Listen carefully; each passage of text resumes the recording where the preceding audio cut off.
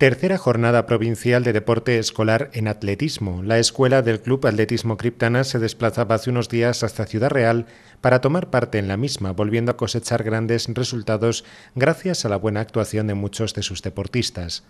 Así, en dos kilómetros marcha, Marcos Perucho y Lucía Serrano fueron campeones provinciales de sus respectivas categorías, el primero en sub-14 con un tiempo de 13 minutos 33 segundos y la segunda también en sub-14 con el mismo tiempo.